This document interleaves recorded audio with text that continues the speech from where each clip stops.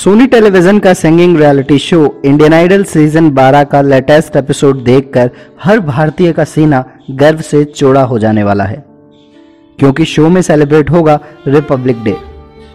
और ये एपिसोड एक से बढ़कर एक देशभक्ति गीतों से गूंजने वाला है।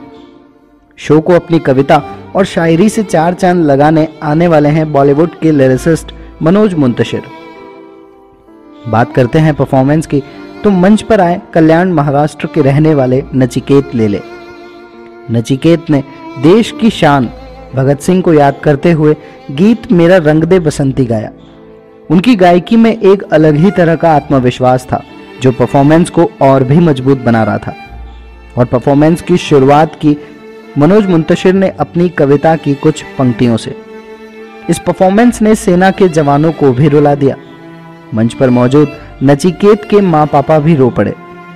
इस परफॉर्मेंस पर मेहमान मनोज जी ने कहा कि मैं सिर्फ़ आपके अंदर छुपे भगत सिंह को सलाम कर सकता हूँ। और इस बात पर खुद नचिकेत भी रो पड़े।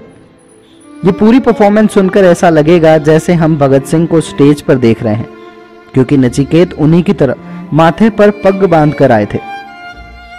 आप नचिकेत की ये लेटेस्ट परफॉर्मेंस देखने के लिए उत्साहित हैं।